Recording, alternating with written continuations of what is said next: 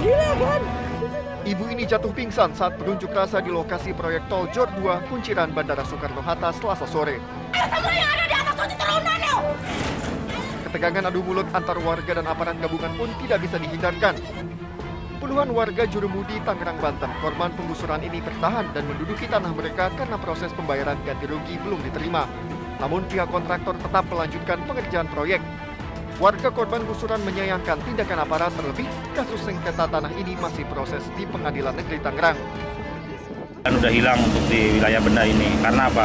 Kami mempertahankan siang malam untuk mempertahankan bidang kami yang belum dibayar. Bahkan harganya aja belum ada kata sepakat harga. Nah, terus proses sekarang juga proses dalam persidangan. Saat ini warga juga sudah mendapatkan surat dari kantor staf kepresidenan terkait persoalan pembayaran ganti rugi untuk ditinjau kembali.